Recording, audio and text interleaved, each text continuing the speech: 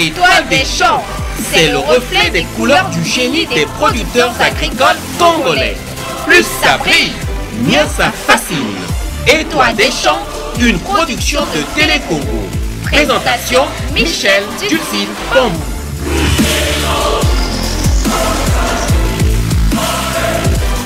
Mesdames et messieurs, bonsoir à tous. Heureux nous sommes de vous retrouver toujours dans le cadre de notre émission Étoile des champs, signe des temps, la planète des éleveurs et agriculteurs congolais.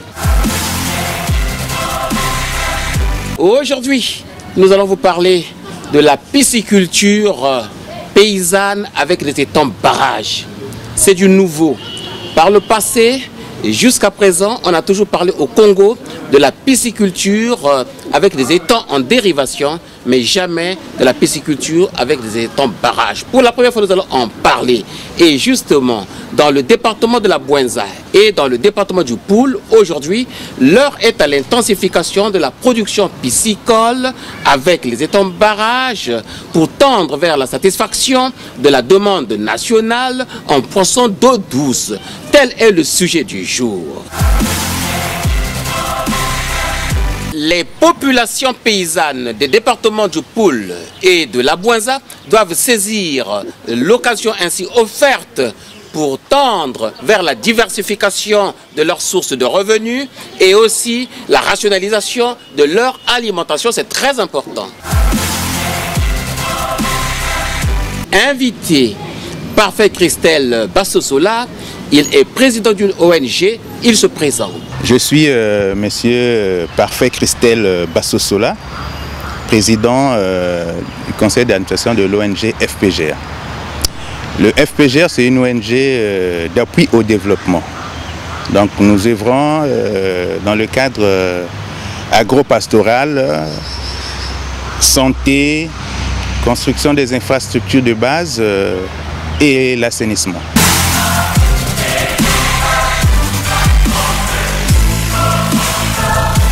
Étoile des champs est une émission révolutionnaire et évolutionnaire. Quand on suit euh, Étoile des champs, c'est comme si on était sur Internet. On a l'information de partout. C'est très récemment à Madingo, chef-lieu du département de la Buenza, que la cérémonie de lancement officiel euh, du projet de renforcement des capacités des acteurs de la filière piscicole a eu lieu. C'était un grand moment, très très important, un moment qui a rassuré l'opinion que vraiment nous entrons dans la phase de concrétisation de ce projet avec donc cette cérémonie. Deux cérémonies euh, associées. Donc il y a eu le lancement officiel du projet, RECAFIP, projet de renforcement des capacités de la filière piscicole au Congo.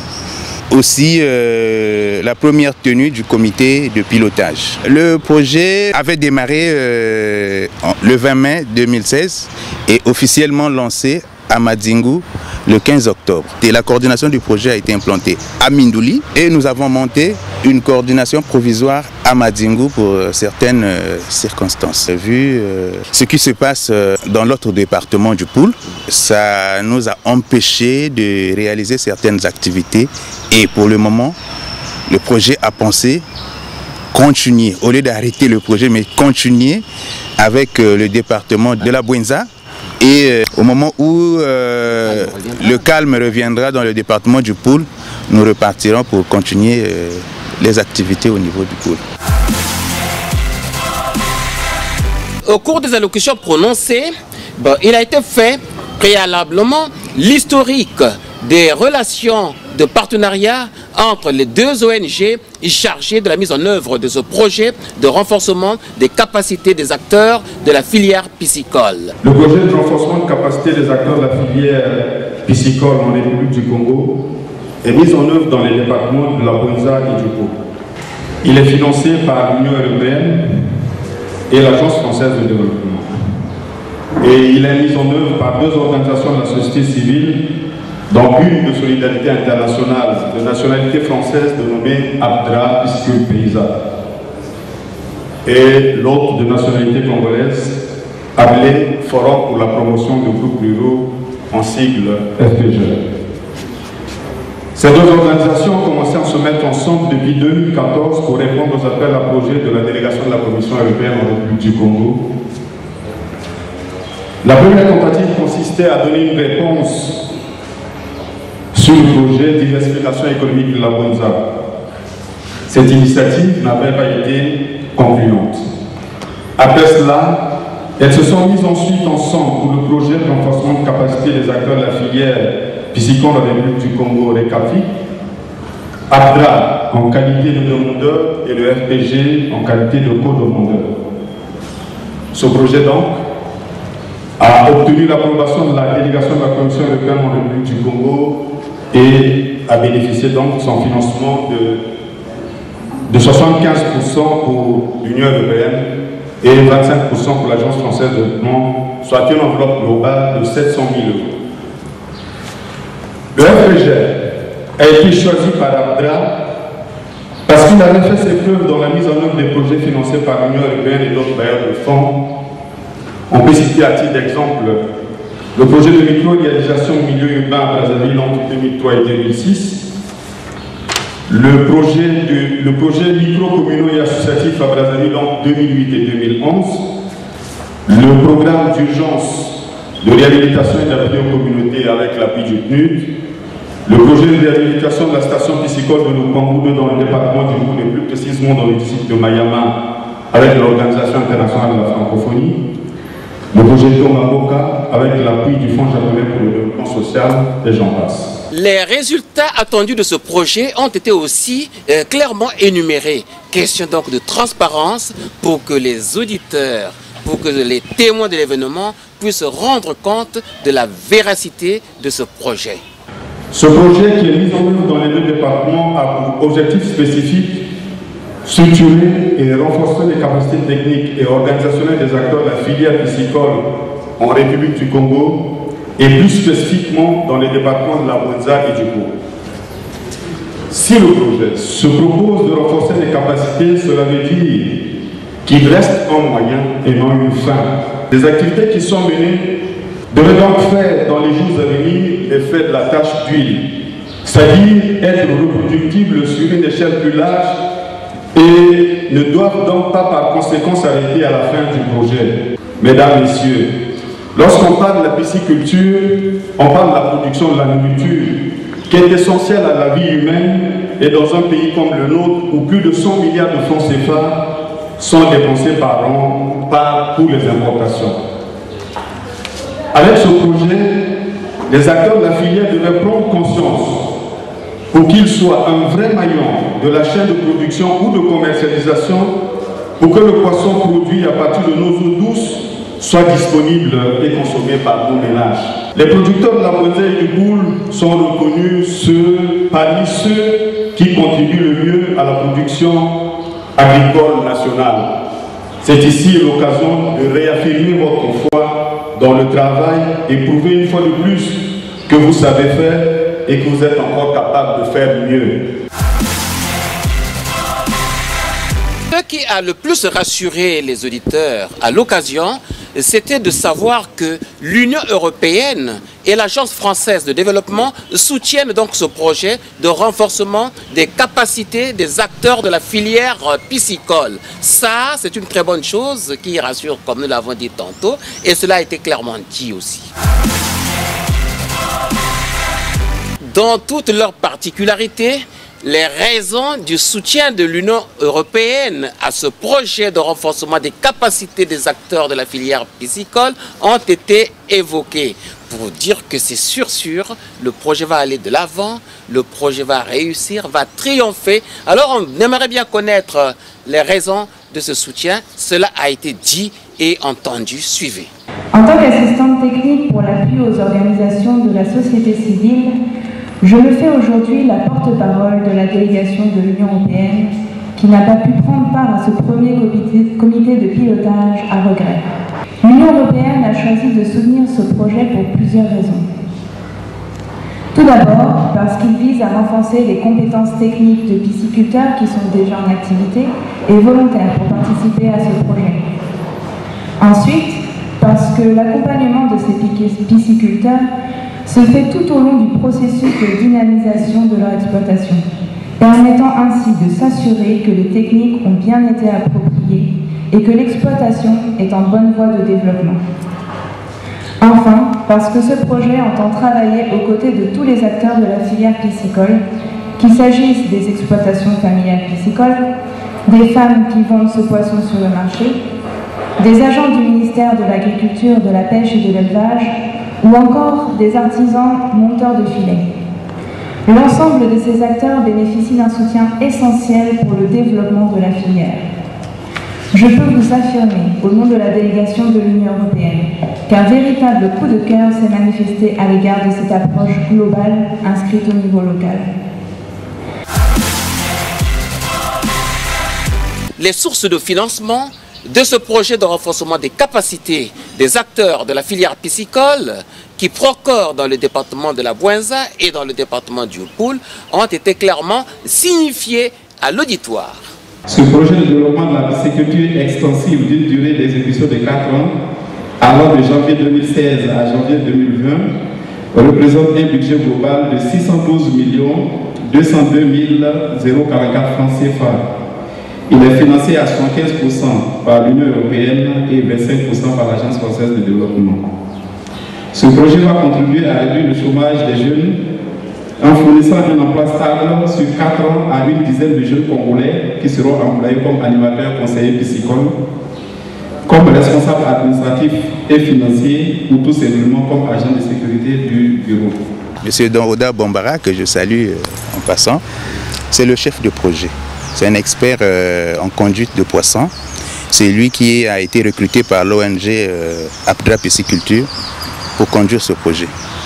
Il est de nationalité euh, ivoirienne et il est arrivé depuis le mois de mars à Brazzaville et jusqu'à aujourd'hui, il est là pour exécuter ce projet. On dit de lui que c'est un homme expérimenté et compétent sur le terrain? Oui, ça j'en ai vécu l'expérience puisque en ma qualité de responsable de l'ONG FPG, j'ai eu à effectuer euh, certaines missions et puis j'ai bénéficié de la formation en aménagement des étangs. Donc euh, j'ai eu à vivre un peu son expertise, ça je le confirme. En notre qualité de gestionnaire de ce projet, nous nous engageons à une bonne gestion des fonds qui ont été placés sous notre responsabilité par l'Union européenne et par l'Agence française de développement et à une procédure transparente de contrôle à travers le comité de pilotage dont la première session est prévue pour ce jour et aussi à travers les quatre audits financiers annuels prévus pour ce projet. Les résultats visés par ce projet ont été clairement signifiés également à l'auditoire. Question donc de tout dire et de ne rien cacher, car il n'y a pas intérêt à cacher quelque chose. Bien au contraire, pour rassurer, pour mettre tout le monde en confiance, il faut tout dire. Et voilà pourquoi tout a été effectivement dit à l'occasion. Le projet de café vise quatre résultats principaux. Le premier résultat, les exploitations agricoles familiales produisent et commercialisent du poisson de taille marchande répondant à la demande locale. Au total, le projet va toucher 20 villages répartis entre le pôle et la Boïnza. Comptant en moyenne 10 pisciculteurs par village préalablement installés ou non, il concernera donc au moins 200 pisciculteurs hommes et femmes dont un tiers dispose déjà d'états piscicoles pour la plupart en dérivation. Pour l'installation des nouveaux pisciculteurs, le projet privilégiera l'aménagement temps barrages d'une superficie plus étendue, 25 arts en moyenne. Au total, ce seront donc 40 hectares de bas qui seront en eau à la fin du projet. La production finale attendue est de 40 tonnes de poissons qui seront produits chaque année à la fin de l'action, représentant une augmentation de 20% de la production actuelle de poissons dans les deux départements d'intervention. Le deuxième résultat, la filière piscicole est structurée et offre des services répondant aux besoins de la profession. Au sein des groupements, les pisciculteurs seront autonomes vis-à-vis des opérateurs de développement. Le groupement constitué des pisciculteurs d'un même village comptera au moins 5 personnes ressources capables d'appuyer leur père en cas de problème technique. Ce groupement gérera seul le matériel collectif de base nécessaire au développement de l'activité, moule en bois et filets principalement. Il sera aussi en mesure d'accueillir et de conseiller de nouveaux candidats pour le développement de l'activité, ainsi que de contrôler le travail effectué par les prestataires de services locaux.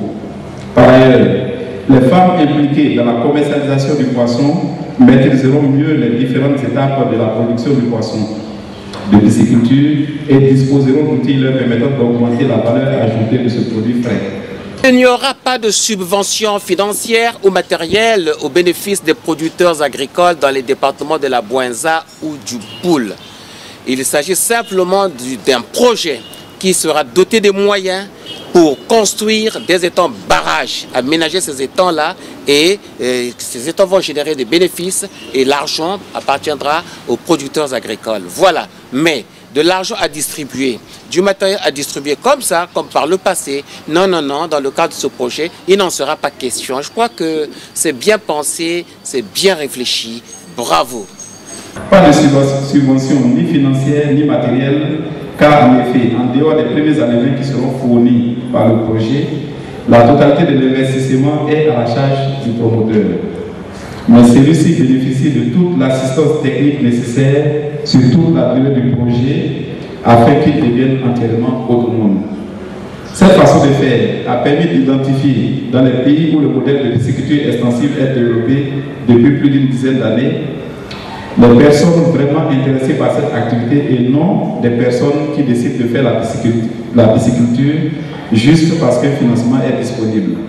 Les pisciculteurs des départements de la Boinza et du Poule qui seront formés dans le cadre de l'aménagement des étangs barrages bénéficieront d'un voyage d'échange d'expériences avec les paysans de la République de Guinée-Conakry. Vous voyez, c'est très très important. Cela aussi a été dit parce qu'il faut savoir qu'est-ce qui se passe chez le voisin qui a déjà tenté l'expérience, qui a déjà réussi dans cette opération pour être sûr que ce que nous entreprenons au Congo aussi connaîtra des lendemains meilleurs. Le succès sera total. Afin de faciliter votre adhésion à ce projet, un voyage d'échange sera organisé en Guinée, Conakry, en Afrique de l'Ouest, où la pisciculture extensive est très avancée, avec une quinzaine de personnes choisies entre vous. Vous pourrez ainsi voir comment travaillent les pisciculteurs de ce pays frère, voir comment ils sont organisés. Les échanges que vous aurez avec les pisciculteurs de ce pays vous aideront certainement à la prise de décision. Dans le département de la Buenza, le département nous a reçus à bras ouverts. Nous avons eu euh, apporté le projet au niveau de la préfecture, au niveau des directions départementales, de l'agriculture notamment, et puis celle de la pêche. Et euh, je vous assure que comme on dit, c'était euh, une bouffée d'oxygène dans les activités de la pisciculture. Le département de la Bolza abrite ce jour la cérémonie de lancement officiel du projet de renforcement des capacités des acteurs de la filière piscicole des départements de la Bolza et du Pôle. Ce projet arrive à point nommé et pour cause, les immenses potentialités piscicoles que regorgent ces deux départements sont sous-exploités. La pratique piscicole étant justement embryonnaire. Le soutien à différents niveaux techniques, matériels, de même que le niveau d'encadrement, sont très faibles pour assurer l'essor de ce secteur vital. Mesdames et messieurs, J'ose espérer qu'à terme, ce projet devra contribuer efficacement à l'amélioration des rendements chez les pisciculteurs des deux départements en apportant des réponses adaptées aux faiblesses ci-dessus énumérées, leur permettant de participer significativement à la lutte contre la pauvreté, la dépendance, l'insécurité alimentaire et la vie chère. Je voudrais Au nom de M. Célestin Tomekinde, préfet de la Buenza, vous souhaitez un agréable séjour de travail à Madingu, capitale de la Buenza. Tout le monde a soif euh, de vivre cette activité, en fait ce projet. C'est bien que le travail a été facilité euh, au niveau de l'équipe projet pour l'installation et euh, certaines euh, faveurs pour l'accompagnement dans les départements avec euh, les, techniciens du département. Étoile des champs est une émission révolutionnaire et évolutionnaire. Quand on suit Étoile des champs, c'est comme si on était sur Internet. On a l'information de partout. À proprement parler du projet de renforcement des capacités des acteurs de la filière piscicole dans les départements de la Buenza et du Poul, il faut dire que les travaux de ce projet ont démarré avec le diagnostic indispensable pour déterminer le zonage opérationnel des activités de ce projet. C'était une phase très très importante qui s'est déroulée normalement à la satisfaction générale. Le diagnostic, euh, c'était euh, la première phase de ce projet. Donc on ne pouvait pas aller euh, sur le terrain sans qu'il connaître euh, en fait euh, les maux que souffrent ces deux départements. Donc il y a eu cette phase qui a été euh, réalisée par deux experts. Un Français, M. Christophe François, et puis un Camerounais, M. David Bissaï. Ils ont mené leur diagnostic dans les deux départements, le Poul et la Bouinza, jusqu'à nous donner le zonage opérationnel de- des activités de notre projet. Le zonage, euh, ça consistait à cadrer les zones euh, de forte potentialité en pisciculture. Donc il y a eu des zones dans le passé qui ont eu une dynamique euh, piscicole et des nouvelles zones qui présentent des caractéristiques favorables à l'activité de la pisciculture. Donc euh, la pisciculture euh, en étant barrage que le projet compte euh, vulgariser. Les résultats de ce diagnostic a donné pour le moment quatre zones qui sont opérationnelles actuellement. Il y a la zone de Mayalama dans la Bouinza, dans le district de Muyonzi. Il y a la zone de Sekepembe dans le district de Mabombo. Ce sont des zones déjà où les activités même euh, d'aménagement des étangs ont déjà commencé. Dans le département du Poul, nous avons le district de Mindouli, précisément dans le village euh, Luengo. Là-bas aussi, euh, le piquetage, euh, les prospections, les plans d'aménagement ont été déjà pratiquement euh, effectués. Donc euh, il ne restait que la phase euh, de construction des moines qu'on pourra euh, bien sûr dans le futur continuer à réaliser là-bas. Quel moment on parle d'une zone qui est favorable à l'installation euh, ou à la construction des étangs barrages? Que le sol doit présenter des caractéristiques euh, argilo-sableuses. Il y a aussi euh, un critère obligatoire, donc l'existence d'un bas-fond favorable.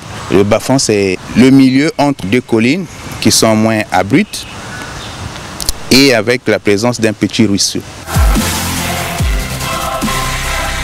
Est-ce qu'on peut connaître quand même les étapes euh, importantes de la construction d'un étang barrage C'est le paysan qui doit nous présenter son site. Donc, il y a la première étape, c'est la visite du site. Après la visite du site, euh, il y a la prospection. Donc, euh, l'animateur conseiller piscicole repart sur le, sur, sur le terrain, il va au site pour aller faire sa prospection. Donc, euh, faire une étude topographique. À la fin, il nous présente un plan d'aménagement. À ce moment-là, le moine construit en matériaux durables, donc en béton, armé, et nous allons commencer construire notre digue. Donc le volume du digue, de la digue dépend de l'étude de l'animateur conseiller piscicole. Et nous allons construire notre digue, donc nous venons verser de la terre de temps en temps, de temps en temps, de temps en temps, d'une manière progressive. Et nous irons maintenant à alimenter notre étang en eau. Donc, l'étang alimenté en eau, nous allons maintenant empoisonner. Le projet compte euh, élever quatre types de poissons. Il y a la carpe, qui est généralement élevée partout, euh, la carpe nilotica il y a euh, le silure et puis euh, le poisson euh, Congo-Sika, qu'on appelle généralement Congo-Sika. Et, on introduira un prédateur donc qui fera la quatrième espèce dans les temps pour réguler un peu la densité. Après le diagnostic, eh bien, on est passé à la phase de la formation des formateurs. Eh bien, cette opération, pour qu'elle se déroule normalement, il faut bien veiller à la formation des formateurs. Voilà ce qui a été fait. Ceux qui auront la charge de former les paysans à la tâche de l'aménagement des étangs barrages, eh bien, ceux-là qui vont les former ont été eux-mêmes formés et bien formés. Au sujet de la sensibilisation des paysans, nous aimerions dire à tous ceux qui nous écoutent, à tous ceux qui nous regardent, maintenant et à l'instant, que la sensibilisation se fera dans tous les villages du département de la Boenza, dans tous les villages du département du Poule. Évidemment, dans le Poule, lorsque la situation reviendra au calme, la situation sécuritaire sera résolue, en ce moment-là, les spécialistes formés sillonneront tous les villages, tous les districts, toutes les localités, disons, pour essayer de, découvrir euh, des paysans disposant des cours d'eau où il y a la possibilité d'aménager des étangs barrages et qui vont produire du poisson, du poisson d'eau douce, du poisson frais, hum, hum, très bon à consommer. Hein. Je demande à la population, quand ils ont le message qu'il y aura une descente de l'équipe projet dans leur localité, vraiment qu'ils se présentent, qu'ils viennent écouter, qu'ils viennent voir. Parce que c'est une équipe qui vient avec euh, toutes les dispositions et tous les équipements nécessaires pour mener une bonne sensibilisation. Monsieur Parfait Christelle Bassosola, président de l'ONG Forum pour la promotion euh, des groupes euh, ruraux, a eu donc un mot de fin à dire, à destiner à l'endroit des producteurs agricoles de la Boinza pour leur demander de s'intéresser à ce projet. Aux paysans, je leur demande de la patience, du courage pour ceux qui ont déjà commencé. Que c'est vrai, le tout, début, tout début est toujours un peu difficile, mais je crois que au bout de l'effort, euh, le rendement est garanti. Étoile des champs est une émission révolutionnaire et évolutionnaire. Quand on suit euh, Étoile des champs, c'est comme si on était sur Internet. On a l'information de partout. Notre émission sur euh, la pisciculture paysanne est terminée. La pisciculture paysanne à étant barrage est terminée. Mais pour autant, le temps imparti à l'émission n'est pas terminé. Il nous reste encore un bon quart d'heure. Voilà pourquoi nous allons mettre à profit ce temps pour vous parler de deux jeunes. De deux jeunes qui se sont rencontrés, qui se sont aimés et acceptés, deux jeunes garçons, sur le banc de l'école. C'était à Infondo, en classe de première. Et depuis là-bas, à Infondo, sur le banc de l'école, ils ont appris à travailler pour gagner de l'argent. Et c'est ainsi qu'ils ont pu aujourd'hui faire des grandes choses. Je vous laisse découvrir ces deux jeunes. Ils vont se présenter à vous. Je suis M. Lingongo d'Orsia Roda. Eric Bongol. Je suis éleveur ici. C'est mon frère. On s'est rencontrés à Infondo à partir de 2004. À l'époque, on était en première. C'est vraiment un collègue de classe.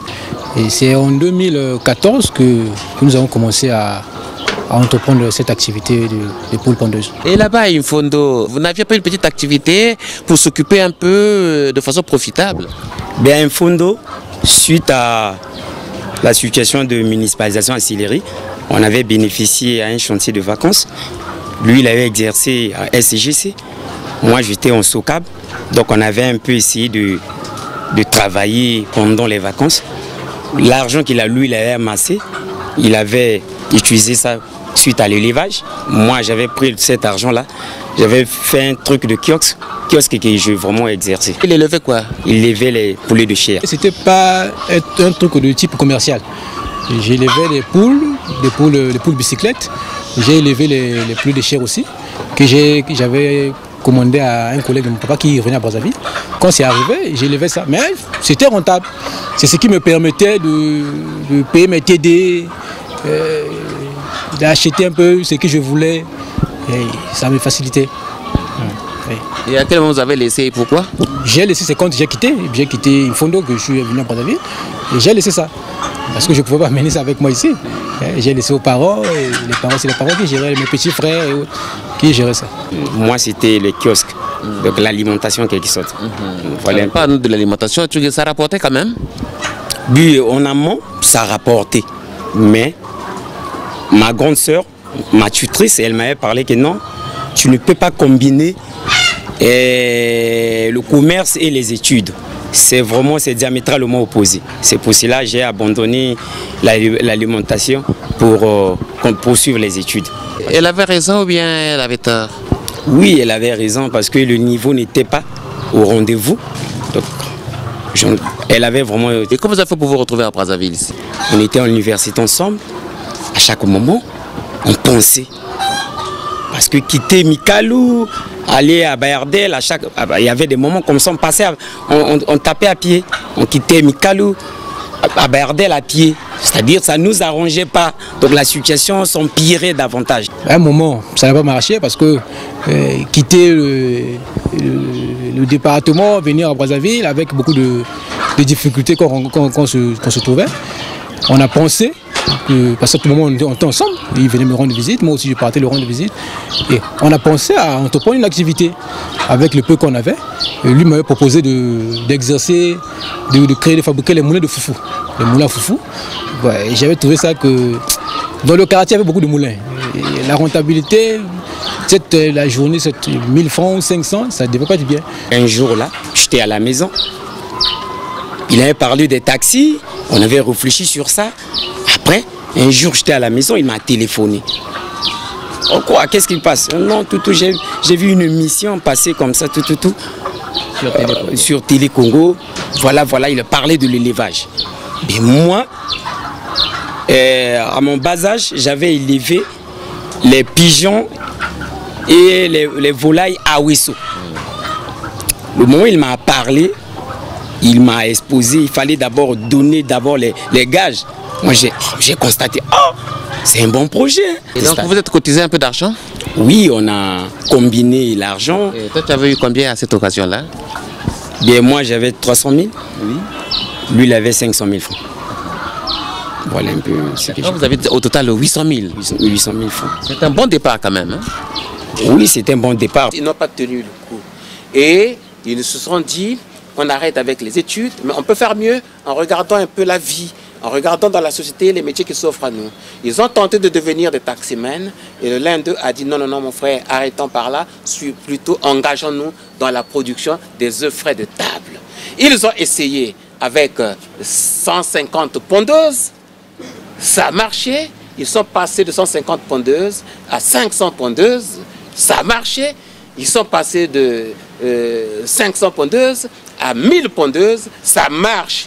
Et demain, ils vont passer à 2500 pondeuses, nous ont-ils dit. Mais, curieusement, il se posera à eux le problème d'infrastructure, le problème de structure, parce qu'ils n'ont pas le moyen de se construire des poulaillers à plus grande échelle, Il fallait commencer par 150 pour voir un peu comment ça se passe. Parce que c'était d'abord, c'était les bas c'est-à-dire qu'il fallait savoir un peu les bases de l'élevage. On ne voulait pas vraiment commencer par 500 au moment où vous ne maîtrisez rien absolument, parce que ça c'est l'élevage moderne. Parce que les, les- les élevages qu'on faisait à Wesso, c'était des élevages euh, artisanal. Les poules sont là à la portée de tout le monde, mais ici c'était l'élevage moderne. Il faut les nourrir. Il faut les nourrir, il fallait les suivre, il fallait avoir un- des infirmeries pour les traiter, tout, tout. Donc c'était l'élevage un peu moderne. Donc voilà les, les 150 qui nous ont propulsés à, à so- à- à 500 et 500. Aujourd'hui, nous sommes à 1000. Mais notre, plus, le, notre secret, c'était plus, euh, on ne voyait pas l'argent et le salaire. Hein, Parce qu'à chaque moment, quand il parlait que non, est-ce qu'on doit faire le salaire? Moi, je dis non, on doit faire comme si ça ne paye pas pour essayer de pargner. Parce que si on contente seulement du salaire, vraiment ça ne pourra pas y marcher. Parce que l'aliment était d'abord très cher. En amont, c'était 11 500 le, le sac. 11 500 francs. Donc, oh, la- une grande partie d'argent partait de l'aliment. Et la route, la route était vraiment médiocre. La route était médiocre. L'accessibilité était difficile. Vraiment était difficile. Donc oh, voilà un peu, il fallait travailler dur. Je l'ai parlé, non, travailler, euh, travailler dur aujourd'hui pour mieux vivre demain. Quand tu lui parlais, il te comprenait. Qui écoute beaucoup. hein, C'est-à-dire, il écoute, il- c'est c'est un ta- tassitude. Il parle moins. Il parle moins. C'est moi qui suis un peu turbulent, mais lui parle moins. Mais le- notre préoccupation, c'est vraiment l'écoute. Quand je lui parle, voilà, voilà les analyses que j'ai fait. Il est là, il dit non, je vais te donner la réponse demain.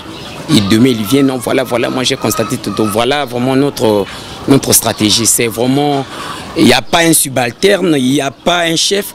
Euh, C'est-à-dire, nous tous, nous sommes à égalité. Nous sommes tous les, les éleveurs et nous, faisons, nous, nous, nous exerçons les mêmes, les mêmes, euh, nous, prenons les mêmes euh, occupations, nous faisons les mêmes occupations. C'est-à-dire que prendre- prendre- aller prendre de l'aliment, transporter de l'eau, nourrir les poules. Il n'y a pas celui-là qui est spécialisé pour nourrir les poules, celui-là c'est pour la comptabilité, non. Nous faisons tous la comptabilité, nous faisons tous la- euh, le, tra- le travail matinal pour nourrir les poules et autres. Comment ça se passe euh, du point de vue de la compréhension? Quand il y a quelque chose qui ne marche pas, euh, si ou soit si c'est lui qui l'a constaté, il me fait appel, il me dit mais voilà, euh, par rapport à l'activité, voilà, voilà, voilà, voilà. Et moi aussi, si je constate, je le fais appel, je dis ah, en fait ici, on ne doit pas faire ceci, on doit faire cela. Et on réfléchit ensemble, on trouve une solution et on avance. Ceux qui n'ont pas assez de, de moyens, c'est mieux de s'associer. C'est-à-dire que vous devez être deux, trois, quatre, avoir une, association ou une coopérative. Parce que quand vous êtes nombreux, euh, ça vous facilite de- de- d'exercer les, les petites tâches. Moi, je peux aller prendre de l'eau, lui peut aller prendre l'aliment, je peux nourrir les poules, lui il est en train de, de- de- de ramasser les œufs ou de, remplir les abreuvoirs. C'est plus, plus vite qu'une seule personne. Hein, Je trouve que c'est mieux. C'est mieux d'être à deux, trois ou quatre. Nos deux jeunes amis ils saisissent l'opportunité qui leur est ainsi offerte pour euh, prodiguer des conseils en se donnant en exemple à d'autres jeunes qui les écoutent à cet instant et qui ont perdu goût à la vie, qui ont perdu goût à l'école, mais qui sont totalement dans le désespoir. Pas question. Suivez leur exemple, vous réussirez et vous irez de l'avant. La vie est belle pour les Congolais vivant au Congo. Nous tous, nous cherchons la fonction publique. Il n'y a pas assez de place pour tout le monde. Hein, Tout le monde ne sera pas fonctionnaire d'État. Nous aussi, nous pouvons exercer certaines activités et on peut permettre aussi aux autres. Parce qu'aujourd'hui, c'est parce qu'on on est encore petit, mais demain, on sera peut-être grand, aussi, on aura peut-être peut-être une grande, une grande ferme, on aura besoin de gens. Ils seront, ils seront des, salariés, ils auront quelque chose. Donc, c'est d'exercer aussi des activités de, première nécessité. Hein, L'agriculture, l'élevage, la pêche, l'aquaculture et autres. C'est rentable. hein, ça, ça permet à, à- à quelqu'un de, de, de, de, de- de se- de- de dépenser, de, de s'évacuer un peu de, petites choses. Euh, Ils ne doivent pas aller se mot à la fonction publique. Même dans les pays développés, ceux qui sont bien, ce ne sont pas les fonctionnaires d'État. C'est des gens qui, qui font des, activités agricoles, qui se retrouvent. Donc ils doivent chercher. Il y a même certains qui viennent ici pour essayer un peu d'avoir des conseils. Mais Ils finissent par partir parce qu'ils trouvent que c'est décourageant de, de soulever le, le sac à tant de mètres, euh, aller prendre de l'eau chaque matin, euh, les nourrir chaque matin, chaque midi, euh, aller livrer les œufs. Donc ils trouvent que c'est trop emmerdant. Mais ils ne savent pas que c'est avec la sueur qu'on exerce, qu'on fait sortir, qu'on trouvera quelque chose. Donc ils doivent toujours chercher quelque chose. Ceux qui sont assis à la maison, ceux qui sont chez les parents, qui, ne bossent pas les bras, qui trouvent quelque chose à faire. Et je sais qu'un jour, ça pourra, avec beaucoup de conscience, beaucoup de, de, de- de persévérance, ça, ça va C'est évoluer. une bonne chose. ça, ça change un peu la vie de quelqu'un. Premièrement, ça change la vie de quelqu'un. Certes, je sais que l'aliment, l'aliment est cher parce que bon nombre de gens viennent ici, viennent me voir comment ça se passe. Quand je leur donne la maquette de la situation et je leur donne, je leur parle que non, l'aliment est 11 000 ou 8 500, du coup, les gens fouillent eux-mêmes. Je ne sais pas les raisons, peut-être les, raisons financières ou les raisons de tout, je ne sais pas. Mais de mon côté, je souhaiterais à mes frères là qu'ils puissent s'entendre comme moi et le Ngongo. Le peu qu'il a et le peu que l'autre a, vous combinez les peu là, c'est souhaitable que vous puissiez démarrer. Sinon, on s'attendait à, attendre euh, le, soutien, le soutien financier. Aujourd'hui, on ne devait pas être comme ça. Parce que le soutien là aussi, c'est pas facile.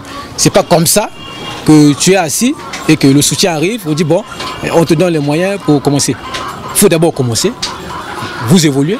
Et je suis sûr qu'un jour, si Dieu le veut, ça, ça sera soutenu. Avec, leur propre, avec le peu qu'ils ont, avec 100 000, avec, même avec 100 000 francs, il peut commencer.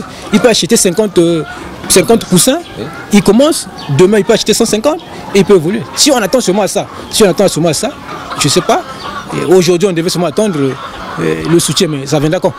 Hein? J'entends souvent parler de ça, mais euh, on ne peut pas trop espérer sur ça parce qu'on ne sait jamais. Quand les autorités encouragent de telles activités, ça va booster bon nombre de jeunes. Bon nombre de jeunes auront cette euh, force-là. Nous, nous, devant nos, frères, nous serons les modèles. Ah, voilà, les, Eric et Bongol et les Ngungu, ils avaient commencé par temps et les autorités leur avaient donné un coup de pouce. Pourquoi pas nous? C'est-à-dire, voilà un peu la vision, elle est là. Donc, mon souci à l'État congolais d'encourager des, des, activités comme ça. Vraiment, ça, ça pourra changer la mentalité des Congolais. Et chaque Congolais, chaque Congolais aura cette idée-là que non, à part, euh, à part la fonction publique ou à part les chantiers, même le levage, c'est une bonne chose. Euh, l'exemple de jeunes qui nous marquent, qui nous fascinent par leur détermination à travailler pour gagner de l'argent, à travailler de la façon la plus logique, la plus raisonnable pour gagner de l'argent. Pas de l'argent facile, hein? ils ne font pas du banditisme, ils ne font pas de la mendicité, ils travaillent et c'est à la sueur de leur front qu'ils gagnent. Ceux qui les assistent parfois se rétractent pour dire hum, on ne peut pas faire comme ça, c'est trop difficile. Mais eux, ils le font avec beaucoup de plaisir. Alors, messieurs, mesdames qui disposez de moyens par les structures que vous animez, n'hésitez pas à intervenir en faveur de ces deux jeunes. Donnez, aidez-les à se procurer les moyens de se construire un poulailler un peu plus grand, capable de contenir 2500 pondeuses, et ils se mettront rapidement à l'épreuve pour que dans les six mois à venir, eh ben, ils produisent chaque jour 2500 œufs frais de table à proposer au public congolais. Donc, euh, mesdames et messieurs, étoile des champs, signe des temps, la planète des éleveurs et agriculteurs congolais, nous sommes pratiquement arrivés au terme de notre émission que vous avez dû bien aimer. On vous a parlé de la pisciculture paysanne à Eton Barrage. C'est de la nouveauté dans notre pays. Cela se passe en Guinée, en Afrique de l'Ouest, depuis des années déjà, mais mieux vaut tard que jamais.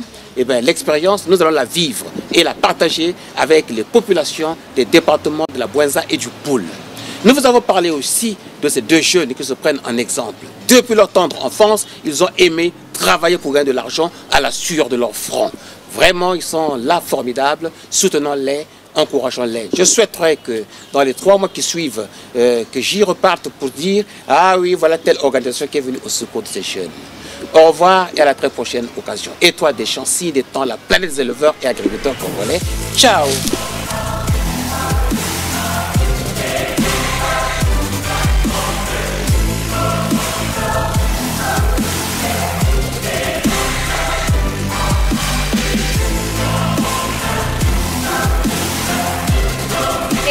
des champs, c'est le reflet des couleurs du génie des producteurs agricoles congolais.